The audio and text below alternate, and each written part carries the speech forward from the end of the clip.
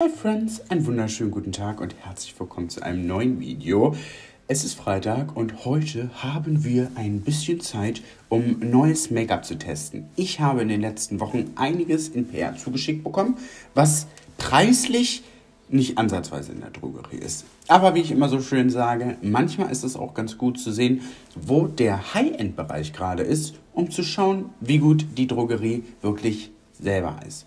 Und natürlich, um herauszufinden, lohnt sich das überhaupt? Ich weiß, dass es bei einigen von euch so ist, dass ihr immer mal wieder ein High-End-Produkt raussucht und das euch dann kaufen wollt. Und dazu bin ich da. Ich habe wirklich viele, viele Nachfragen zu diesen Produkten hier bekommen. Und deswegen dachte ich mir, schminken wir einfach ein Full Face mit Produkten. Ja, das ist, das ist eigentlich gar nicht wert für mein Gesicht heute. Egal. Hallo, Freunde, wie geht es euch? Ich bin heute richtige Business Lady. Ich habe einen Sakko an, ein T-Shirt. Ich probiere mich gerade so ein bisschen neu, nicht neu zu erfinden, aber ich bin so ein bisschen gespalten, gerade mit meinem Style. Einmal eher super sportlich und Jogginghose. Auf der anderen Seite bin ich ja jetzt eine kleine Geschäftsführerin, ähm, CEO und äh, dachte mir, da ist ein Sakko vielleicht gar nicht schlecht, vor allem wenn ich in den nächsten Wochen eh einige Business-Termine habe. Und dann habe ich mir das mal gekauft. Freunde, okay, seid ihr bereit? Ich bin aufgeregt, ich bin excited. Es geht direkt los. Ihr seht, ich habe die Augenbrauen einmal schon drauf. Ich sehe so ein bisschen aus wie Spock, Ariana Grande, me. Wir schminken jetzt was. Ich weiß ehrlich gesagt gar nicht, womit ich anfangen soll. Es sind nämlich wirklich wunder, wunderschöne Sachen rausgekommen. Und bleibt unbedingt bis zum Ende dran, denn auch in diesem Video könnt ihr wieder etwas gewinnen. Dazu müsst ihr einfach nur dieses Emoji zählen. Das zählt selbstverständlich nicht. Und schreibt mir die Anzahl der Emojis in die Kommentare und wie ich euch kontaktieren kann. Ich mache das jetzt fast in jedem Video, weil ich einfach so euch am meisten zurückgeben kann. Bei Instagram habe ich eh immer eine Verlosung laufen. Und hier auch. Ich möchte einfach euch so viel Make-up geben, wie ich kann. Ich habe hier als erstes, ich weiß nicht, ob das neu ist. Ich glaube nicht. Egal, wir benutzen es trotzdem. Von Dior aus der Backstage-Reihe. Die Farbe 001 Universal. Das ist ein Face and Body Glow Illuminator. Also ein Liquid Highlighter. Denn Dior hat die Backstage-Reihe weiter ausgebaut. Sie haben nämlich neue Puder rausgebracht und die sehen wunder wunderschön aus. Und sie haben auch eine neue Foundation rausgebracht. Da habe ich super viele Nachfragen zu bekommen. Und das bestätigt so ein bisschen meine Annahme, dass aktuell der Trend eher auf die Natural Foundations geht. Fenty Beauty ist jetzt noch nicht angekommen. Ich denke mal, das werdet ihr in der nächsten Woche sehen. Und äh, die Cat von die Apple, Vegan Apple, wie auch immer, Foundation, äh, die sollte auch demnächst kommen. Das ist so ein Liquid Highlighter. Wir tragen den einfach mal auf. Uh, okay. Sehr, sehr flüssig, geht so ein bisschen in die Ros roségoldene Richtung. Und den arbeite ich mir jetzt erstmal mit dem Pinsel ein. Ich habe jetzt hier einen von, von Stip und den setze ich mir einfach hier an die höchsten Punkte. Ich mag das ja gerne. Huda Beauty hatte mal vor zwei Jahren, drei Jahren, ist ja schon, die Zeit rennt ja auch, ne? So einen Trend erschaffen, wo sie sich komplett in Liquid Highlighter ertränkt hat und dann Foundation rübergegeben hat. Die Huda Beauty Foundation war ja auch wirklich immer sehr, sehr krass deckend. Aber sie hatte dadurch ein sehr, sehr schönes Ergebnis. Und ich mache das auch eigentlich ganz gerne, wenn ich wirklich so ein extrem glowy Goddess Finish haben möchte. Das sieht jetzt natürlich ein bisschen verrückt aus. Das Schöne bei dieser Farbe ist aber, dass sie so universell ist. Also sie ist nicht zu kühl, sie ist aber auch nicht zu dunkel. Und wenn ihr das als Body Highlighter beispielsweise, wenn ihr Schlüssel, äh, ich habe auch ein Schlüsselbein, aber bei mir sieht man es nicht, hier so aufs Schlüsselbein gebt, dann ist das, glaube ich, eine schöne Sache und auch so auf die Arme und so. Kann ich mir gut vorstellen. Deswegen trage ich mir das jetzt hier einmal schnell so ein bisschen auf. Ihr wisst, meine Highlighter-Technik hat sich ja auch komplett geändert. Gehe einfach weiter nach vorne auf die Nase und vor allen Dingen hier in diesem Bereich, weil üblicherweise schaut man euch in die Augen. Wenn hier das Licht über der Augenbraue so ein bisschen die, Nean die Neandertaler oder der Mensch vor mehreren tausend Jahren hatte einen sehr, sehr ausgeprägten Augenbrauenknochen. Ihr seht das bei mir auch. Also ich bin jetzt kein Neandertaler, aber ich habe diese, diese Ausprägung hier auch recht stark, diesen Brauknochen. Und wenn ich mir den highlighte, betone ich den natürlich, aber dadurch, dass der bei mir so ausgeprägt ist, reflektiert da das Licht nochmal ganz besonders drauf und dann wirkt das ganze Gesicht glowy und highlightig und frisch. Den mag ich sehr gerne, sowas kann man sich auch immer sehr gut in eine Foundation mischen. Ich habe aber noch was anderes. Und da bin ich auf der einen Seite traurig, ich war traurig, jetzt nicht mehr, denn Fenty hat die Body Sauce rausgebracht. Das ist ein Body Luminizing Tint. Also damit wie so eine Körperfoundation. Wenn man jetzt ganz korrekt ist, könnte man sagen, äh, naja, aber lasst uns doch einfach lernen, dazu zu stehen, wie unsere Haut am Körper aussieht. Auf der anderen Seite finde ich es aber auch eine gute Sache, weil das einfach schön aussieht. Ich habe schon mal geswatcht. Das Ganze ist extrem dunkel. Das ist die zweithellste Farbe. Das ist wie so ein Sel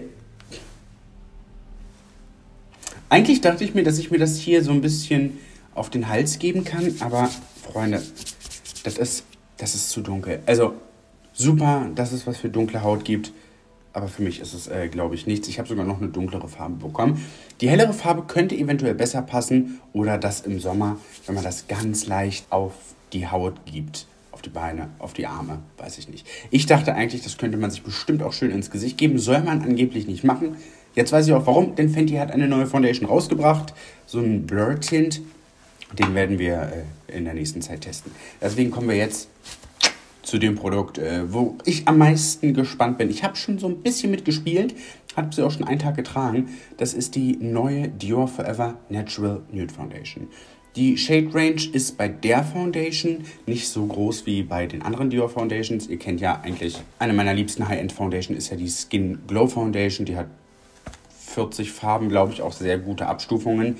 Die gibt es in 17 Farben, aber die Deckkraft ist hier auch nicht so groß. Das ist bei diesen zarten Farben eh normal, dass Shade Range nicht so hoch ist. Die tragen wir jetzt auf und Dior hat mir auch freundlicherweise so einen Kabuki Brush mitgeschickt. Den finde ich Gott, die Hände, ey. Ich sehe nämlich schon wieder die ganzen Meme-Seiten, die einen Screenshot davon machen, wie meine Hände aussehen wie sonst was. Die Foundation hat 17 Farben, ist eine 24 Stunden haltende Foundation und in der Foundation sind konzentrierte Blumenextrakt, Hautpflege, Ingredienzen inkludiert.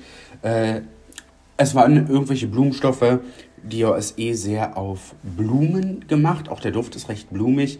Aber auch die Skincare-Produkte gehen immer so in Richtung Rose und die Wirkstoffe aus Blumen. Keine Ahnung, ob das wirklich was bringt. Ich mag die Dior Foundations sehr, sehr gerne. Wir tragen uns die jetzt mal auf. Ich habe die jetzt hier in der Farbe 2N. Ich bin normalerweise 2N, 2WP bei Dior. Und wir tragen uns das mit diesem Kabuki Brush auf. Huh, oh Gott. Ich habe mir noch nie eine Foundation mit so einem Pinsel aufgetragen. Es ist wie so, es sieht so ein bisschen unbeholfen aus, ne? Okay, ich mag es nicht.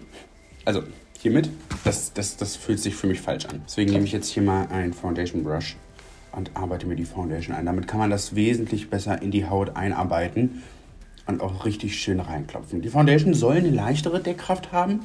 Hm, ich finde sie jetzt okay, ausreichend bei mir gerade. Ihr seht nämlich einen Unterschied und ihr seht auch, dass der Glow auf jeden Fall durchkommt.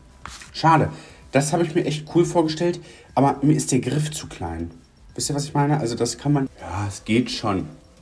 Aber dadurch ist die Deckkraft natürlich wesentlich leichter. Ich mache mir wie immer die halbe Seite. Ich baue das Ganze so ein bisschen auf, dass wir so ein übliches Finish für meine Verhältnisse haben. Ich habe sie ja, wie gesagt, auch schon getragen. Sie hält sehr, sehr gut. Auch hier, das ist so eine Foundation. Ich weiß, das, das hat mich neulich total überrascht. Viele von euch setten die Foundation nicht. Iconic. Deswegen probiere ich jetzt immer so ein bisschen darauf zu achten, euch zu sagen, wie die Foundation auch ungesettet aussieht, weil ich bade ja immer in Puder. Jetzt habe ich gleich ein Stückchen näher geholt, dass ihr euch das Ergebnis auch einmal anschauen könnt. Also ihr habt wirklich eine sehr, sehr ebenmäßige Hautstruktur, die dadurch nicht unnötig betont wird. Ich mache jetzt hier immer schnell die andere halbe Seite. Aber ihr seht schon, also das ist ein sehr natürlicher Glow. Nicht so übertrieben. Ich, hm, viele von euch werden sie kennen. Die Rival de Loup Hyaluron Foundation. Die ist eher so ein bisschen glowiger.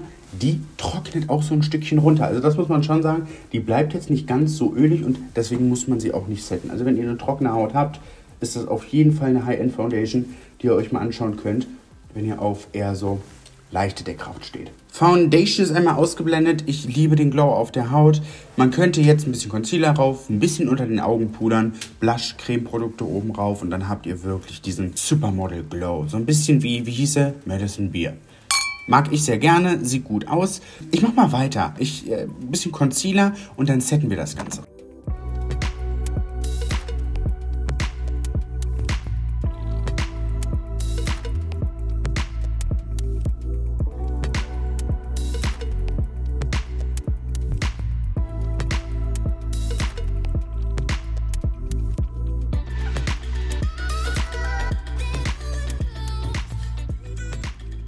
Was ich im Moment sehr gerne mache, ist, ich nehme noch einen helleren Concealer und setze mir den hier außen hin. Und dadurch habe ich wieder diesen gelifteten Effekt. Auch das ist eine Technik, die recht neu bei mir ist. Ihr habt sie ja neulich in dem Fox Eye Madison Beer Video gesehen, dass ich diesen Ultra-Lift-Effekt total gerne mag. Also ihr seht, der Glow ist auf jeden Fall immens auf der Stirn. Wenn jetzt die Foundation sich so ein bisschen mit der körpereigenen Wärme verbunden hat, dann schmilzt die ja auch nochmal anders. Gefällt mir wirklich extrem gut. Ich möchte noch so ein bisschen Blush... Nee, nee, nee, nee, nee, nee, kein Blush. Wir setten jetzt. Und das ist noch nicht... Das ist nicht mehr ganz neu, das Puder. Das ist äh, von Dior aus der Forever-Reihe ein Cushion Powder. Das ist ein Puder, wie in so einer Cushion. Also erstmal Packaging bei Dior ist schon on point. Ne? Bei dem Preis ist das aber auch zu erwarten. Und Dior ist ja auch nicht... Mittlerweile schon eher eine Luxusbekleidungsfirma. Und das sieht man hier auch. Ne? Also das ist so Kunstleder, gesteppt, sehr, sehr hochwertig. Und dann habt ihr hier so eine Taschen. Hm, ich habe das auch schon benutzt. Ich mag das total gerne. Das ist jetzt in so einem Flieder. Ich gehe da ganz leicht mit rein und sette damit unter meinen Augen. Dieses Flieder sorgt so ein bisschen dafür, es ist wie Color Correction dass eure Haut oder das Licht eurer Haut so ein bisschen anders reflektiert wird. Und ihr seht sofort, es mattiert, es gleicht so ein bisschen die Unebenheiten aus und es ist extrem natürlich. Ne? Also ihr könnt damit wirklich direkt unter die Augen gehen. Und ich meine, ja, mhm, das war ähnlich wie dieses Bäckerpuder. Ein bisschen feucht fühlte sich das an. Also das hatte auch einen recht hohen Wasseranteil, was für mich, also das Bäckerpuder ist ja auch schon gefühlt 20 Jahre alt gewesen. Super natürliches Puder. Es gibt das in verschiedenen Farben. Ich habe das auch noch in einer anderen Farbe benutzt. Ich mag das aber am liebsten, weil das wirklich nochmal die Haut so ein bisschen ausgleicht und so das Licht anders absorbiert, resorbiert und reflektiert. Ich hatte, da habe ich mich gefreut, das muss ich euch erzählen. Ich hatte eine Chemielehrerin, ähm, die mir geschrieben hat, eine Physiklehrerin, die mir geschrieben hat, dass ich das richtig erklärt habe. Da habe ich mich gefreut. Mein Physiklehrer wäre sehr stolz auf mich. Okay, also das Puder mag ich wirklich gerne, das habe ich schon benutzt. Wir kommen aber zu einem neuen First Impression Produkt. Heute sehr Dior-lastig zum Anfang. Aber wir machen weiter mit diesem Puder. Das ist aus der Backstage-Reihe ein Face and Body Powder, aber ein Powder No Powder. Also das soll aussehen wie Puder, aber auch nicht wie Puder. Es soll die Haut nämlich weich zeichnen, soll natürlich leuchten und ein ganztägiges mattes Finish haben. Ich nehme jetzt hier einen Pinsel gehe hier rein. Also erstmal schaut euch das, könnt ihr es erkennen, ja, dieses Dior Pressing ist schon, das ist schon Luxus, ne? Und damit gehe ich einfach jetzt hier über mein Gesicht und, ach verrückt, schaut mal hier, speckig, hier ist matt. Auf meiner Stirn so, schaut mal. Irre. Schaut mal, ich habe jetzt einmal nur die halbe Seite gesettet. Das sieht wirklich aus, als wäre die Haut nicht gesettet, aber trotzdem mattiert. Hier seht ihr, ne, das sieht schon feucht aus. Hier reflektiert aber trotzdem noch so ein bisschen durch, weil das Puder nicht ganz so, nicht ganz so ultramatt ist, sondern ist wie so ein leichter Glow mit drin. Und das reflektiert dann natürlich das Licht nochmal so ein bisschen. Farblich passt das perfekt. Ich habe das jetzt hier in der Farbe 2. I like. Ich mache mal die andere Seite. Okay, also ich muss sagen, die Base gefällt mir gerade sehr, sehr gut. Es ist trotzdem mehr oder weniger Full Coverage, aber es sieht so frisch aus. Wisst ihr, was ich meine? Das Licht reflektiert, die Haut kommt trotzdem noch so ein bisschen durch, dadurch, dass die Foundation nicht so ultra Deckkraft hat. Was sagt ihr? Ich mache weiter mit einem Produkt von NARS. Und die kam auch, das ist die neue Full Dimension One Cheek Palette mit vier verschiedenen Farben. Wir haben Blush, Kontur und Highlighter mit drin. Alles eher so ein bisschen stumpfer von den Farben. Nicht so leuchtend, sondern eher stumpf, klingt auch doof. Reduziert. Also der Bronzer ist auch eher ein bisschen kühler. Den tragen wir uns als erstes mal auf. Was ich nicht mag, sind diese länglichen Fändchen. Ich finde, da kommt man immer schlecht rein. Ich mag diese Vierer-Paletten, wo die alle gleichmäßig im Quadrat sind, äh, ein bisschen lieber.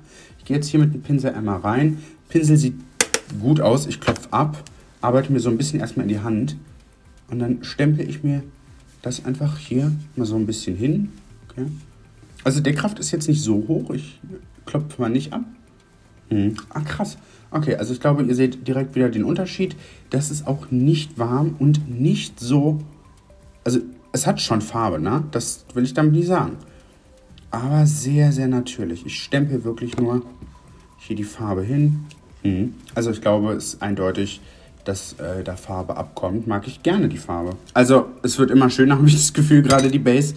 Ich mag das sehr gerne. Unter den Augen creased es gerade so ein bisschen. Ich habe auch für meine Haut unter den Augen ein bisschen zu wenig Puder benutzt. Deswegen gehe ich jetzt nochmal hier so ein bisschen lang. Einfach damit das nicht weiterhin creased. Okay, wir haben hier nämlich auch noch einen Blush und dafür, ich mische so ein bisschen. Ne? Wir haben hier einmal einen Highlighter-Ton. Der ist schon, ja, ich mische einfach mal beide. Kommt, wir sind mutig heute, wie immer. Ich klopfe ein bisschen ab und setze mir das dann hier hin. Auch die Farbe ist eher so ein bisschen gemutet, ne? Also nicht so extrem bunt, sehr erwachsen. Ich sehe wirklich so ein bisschen erwachsener aus als sonst, ne? Also das ist schon nicht schlecht. Und auch der Glow ist recht dezent. Deswegen gehe ich jetzt hier nochmal so ein bisschen in den Highlighter. Der ist nicht dezent. Und blende mir das hier so ein bisschen aus. Und kriege jetzt dadurch wirklich diesen Wet Skin Look wieder zurück. Wow. Bevor wir weitermachen, ganz kurz, es fällt mir jetzt gerade so ein bisschen auf. Mit Sicherheit kriegen wir das mit einer Drogerie auch hin. Ich glaube, es geht aber auch einfach eher so ums Gefühl und zu schauen, wie funktionieren die Produkte. Lohnt sich das noch? Wir wissen eigentlich, dass es sich das nicht unbedingt. Luxusartikel sind eine Sache, die man nicht mit Logik begründen kann, weil du hast keinen Mehrwert, außer eventuell ein Statussymbol, wenn deine Tasche 15.000 Euro kostet. No tea, no shade. Ich habe auch teure Handtaschen oder teure Reisetaschen. Aber es verändert sich dadurch nichts. Theoretisch funktioniert das Ganze ja auch mit einer normalen Tasche für 10 Euro. Das Ding bei diesen Luxusartikeln ist, finde ich, dass man sich selbst so ein bisschen was gönnt. Und wenn man das mit dem einen oder anderen Make-up-Produkt oder der anderen Tasche oder so machen kann, amazing. Go for it. Gönn dir. Leb so, wie du willst. Das ist okay. Bei Make-up geht das natürlich auch anders, aber man braucht ja auch generell kein Make-up. Also nur damit ihr das versteht, dass ich das probiere so, so neutral wie möglich zu bewerten. Man braucht das nicht. Man braucht gar kein Make-up. Aber trotzdem sind wir alle hier, weil wir es gerne haben. Okay, wir haben nämlich noch ein Setting Spray. Das ist hier von Dior aus der Forever-Reihe Perfect Fix. Den Sprühkopf mag ich persönlich nicht so gerne. Das Packaging sieht aber sehr, sehr gut aus. Das gibt nochmal wirklich, ach, ich liebe diesen Dior-Geruch. Ja? Das riecht einfach nach Blume diesen frische Kick und die Haut sieht jetzt wieder frisch und durchfeuchtet aus. Auf die Lippen geben wir uns äh, eine Kombination aus dieser neuen NARS-Reihe. Ich muss sagen, ich mag von NARS dieses, das ist eine gummierte Verpackung. Das sind die neuen Air Matte Lip Colors. Ich habe die in zwei Farben, denn ich möchte so ein Ombre Lip machen. Ich trage als erstes die Farbe Shag auf. Packaging ist wirklich süß. Das Füßchen ist ähnlich wie ein klassisches Lipgloss-Füßchen, aber ein bisschen schmaler. Schöne Farbe. Ist ähnlich wie meine Lippenfarbe, finde ich. Ich gebe jetzt in die Mitte nochmal die Farbe All Yours. Ist so ein bisschen heller. Auch die Farben der Verpackung entsprechen nicht dem Produkt auf den Lippen. Das heißt, schaut euch das jetzt bei mir an oder schaut euch Spots an, weil die Verpackung, das ist nicht die Farbe. Die Lippen sind nicht ganz matt, ne? Das ist, es sieht matt aus, es fühlt sich aber nicht trocken an. Also man kann das auch noch verwischen. Also es ist nicht Maskproof. Ansonsten muss ich sagen, gefällt mir der Look extrem gut. Aber wie eben schon gesagt, das Ganze ist natürlich nicht nötig. Natürlich sage ich nicht, dass die Sachen schlecht sind. Das sind sie auf jeden Fall nicht. Ich sage jetzt aber auch nicht, dass die Drogerie schlecht ist. Ihr kriegt mit beiden Produkten immer sehr, sehr gute Sachen zurecht. Und bitte, das ist eine ganz, ganz große Bitte, kauft euch wirklich immer nur das, was ihr braucht, was ihr euch leisten könnt und was ihr haben wollt. Ich teste die Sachen einfach für euch und zeige euch die Sachen. Die Sachen haben super gut funktioniert. Ich fühle mich richtig, richtig wohl. Ich könnte jetzt so in die Bank marschieren. Schön, dass ihr mit dabei wart. Lasst dem Video gerne einen Daumen nach oben da. Ich bedanke mich und würde vorschlagen, wir sehen uns beim neuen Video hier auf meinem Kanal. Passt auf euch auf.